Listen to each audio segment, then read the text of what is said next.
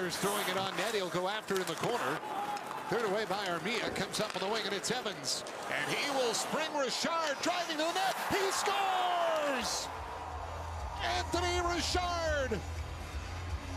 It's his first NHL goal, and he gives the Canadiens a 1-0 lead. And look at the smile on his face. Well, it's incredible.